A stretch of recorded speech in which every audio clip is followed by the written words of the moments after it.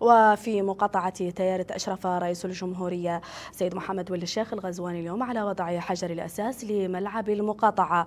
يدخل مشروع بناء ملعب تيارة في إطار المكونة الرياضية من برنامج رئيس الجمهورية ويتكون من مدرجات معدنية تسع ألفي متفرج وعشب اصطناعي ومنصة شرفية.